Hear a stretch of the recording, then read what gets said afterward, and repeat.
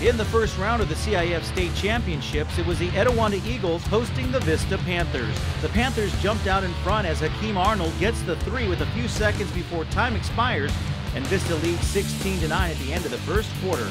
Moving into the second quarter, Etiwanda's Jordan McLaughlin goes for the layup, and the Eagles' Darren Williams with the follow-up to score the bucket. And Etiwanda would go into halftime trailing 27 to 26. In the third quarter, with six seconds left, the Eagles' Daryl Adigwu nails the three-pointer to end the quarter as the Eagles trailed 42 to 38. Going into the fourth quarter, the Eagles' Jordan McLaughlin hits the 12-foot jump shot as he ties the game at 42 with six minutes left in the fourth quarter.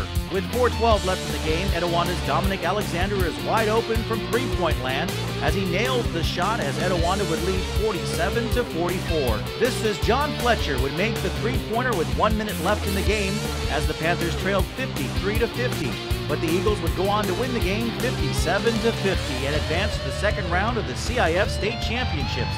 The Eagles will travel to face Loyola High School on Saturday night.